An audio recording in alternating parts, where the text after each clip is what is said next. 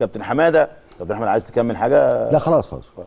كابتن حماده مباراه زي دي قبل نهائي كاس مصر وهتوصل للنهائي وتاخد بطوله قدامك 48 ماتشين يعني. نعم. هل هل نلاقي اهتمام من اللعيبه؟ يعني التغارير اللي من الملعب سار بيقول لي وجوه اللعيبه. ده بيفرق. وانت نازل الملعب بيفرق وشك وانت مركز. بيبان التركيز من عدم التركيز يا كابتن حماده؟ طبعا ولازم يكون فيه اهتمام لأن اللعيبة طبعا لازم تركز. اللعيبة بتلعب في نادي كبير اسمه نادي الزمالك. اللعيبة دي خدت بطولات السنة اللي فاتت. أنا السنة اللي فاتت بالنسبة لي خلصت. أنا ببص على الحاضر دلوقتي مم. الحاضر دلوقتي أنا عندي ماتش كاس النهارده أكسبه أوصل للنهائي. مم. ماتش كاس أكسبه يوصلني بمعنويات عالية لماتش النادي الأهلي وأرجع تاني تمام. للمنافسة. فطبيعي يا طارق إن اللعيبة لازم تكون مركزة. صح. لازم تركز كويس قوي أهم حاجة النهارده يا طارق لازم الجماعيه في الأداء. لازم مش عايز انيه لازم اللعيبة تبقى عندها شوية جماعية. لازم خطوطنا تبقى قريبة من بعض. ما تبقاش خ... الماتشات اللي فاتت خطوطنا بعيدة قوي عن بعض. يعني تلاقي خط الدفاع في مكان وخط النص بعيد عنه وخط الهجوم أكننا بنلعب يعني في صحراء. لا لازم الخطوط كلها تكون مترابطة مع بعض. أما بندافع بتدافع كويس.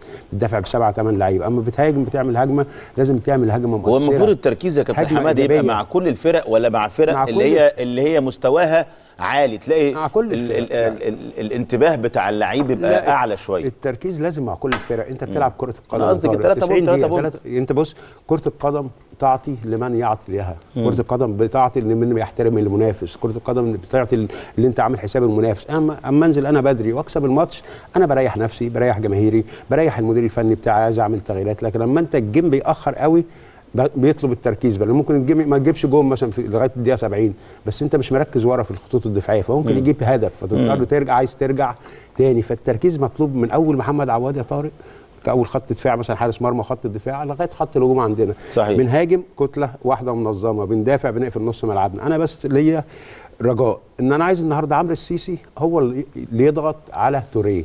توريه هو مفتاح اللعب الأول بالنسبة لبيراميدز. مفتاح اللعب هو دايما بيلعب ستة. ما بيلعب ستة. لازم يضغط عليه لأنه دايما توريه هو اللي بيسلم عبد الله أنا السعيد. معاك في النقطة دي إن السيسي- السيسي بيعملها كويس يعني قوي فلازم يضغط مم. على توريه من البداية ما يخلوش يستلم كويس لأن هو بيسلم بعد كده للخط الأمامي اللي هو مثلا رمضان صبحي إبراهيم عادل عبد الله السعيد. ويبقى دونجا هياخد اللي هو الراجل الثاني الكارتي موجودين. وهيبقى أمام اللي هو ال playmaker هيقابله الناحية الثانية اللي هو عبد الله السعيد. لكن الاثنين اللعيبة دول اللي إحنا قلنا عليهم الكارتي إيه وبلاتي توريه وخاصة توريه ده هو المس... هو يعني رمانه الميزان. بعد كده بالخط الأمامي بيسلم لعبد الله السعيد بيبتدي عبد الله السعيد يعمل الشغل بتاعه في آخر 30 40 متر النواحي الهجومية. لكن في نص الملعب السيطرة دايما ال second ball بتلاقي توريه والكارتي واخدينها. لا أنا عايز النهارده السيسي ودونجا أي second ball كورة إحنا لازم نمسك نص ملعبنا لازم هتدافع كويس. بعد كده تصنع اللعب بعد كده اللعيبة تكمل مع المهاجمين. عايز يبقى لينا شكل هجومي. صحيح. مش أنا بهاجم مثلا الجزيري لوحده ونرجع نظلمه ونقول الكرة ما تجيش للجزيري. عايز كثافة عددية. كثافة عددية ما لازم حد يعاون الجزيري لازم إمام عاشور يزيد مع الجزيري لازم صح. ال back يطلع.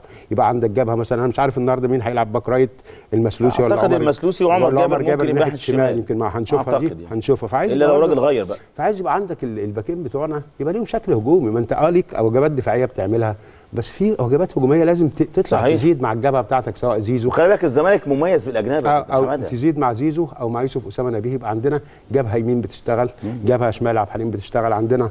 عمق بيخش المس... بيخش مثلا إمام عاشور بيزيد هو والسيسي مثلا مع مع الجزيري يبقى عندك الشكل اللي أنت بتهاجم بلاقي ستة سبعة كده موجودين. في جملة بتتعمل في شكل كويس. لازم النهارده تستلم اللعيبه تستلم كويس. لازم اللعيبة تمرر كويس. تمرير لازم اللعيبة تتحرك بدون كورة كويس. دي أهم حاجة اللي أنت تتحرك بدون كورة لأن بيراميدز من الفرق اللي بتعرف تقفل في نص الملعب بالكارتي. وبلاتي توريه. لكن عندهم برضو عيوب شوية دفاعية لأن هم بيهاجموا على طول. فممكن نستغل الناحية بتاعت محمد حمدي اللي دايما طاير على طول بيهاجم ودي زيزو هيقدر طبعا يستغلها. والناحية الثانية أعتقد يوسف أسامة نبيه هيبقى ليه دور مهم. مع احمد فتحي أحمد فتحي لعيب خبرات بس يوسف أسامة نبيه سريع نشيط لعيب صغير فاهم. أعتقد هتبقى مباريات جانبية كتير قوي في. الماتش غير نص الملعب. الاطراف يا ترى هيبقى فيه ماتشات جانبية؟ المدافعين علي جبر مثلا وأحمد سامح هتبقى في مباراة بينه وبين الجزيري. الناحية الثانية فخري لقاي اللي أنا بحذر منه. ما تديش مساحة لفخري لقاي. لكن هو بيستلم عادي ما فيش منه خطورة. لكن إذا خد مساحة بين حسام عبد المجيد ومحمد عبد الغني هيبقى خطر جدا.